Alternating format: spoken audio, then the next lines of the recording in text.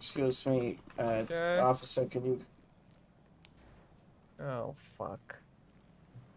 All right, here. Let's just let's just let's just drag him away in the dirt. You think we can do that? Yeah, I gotta get him out of this. Oh street. my God! Oh fuck. Oh, watch out.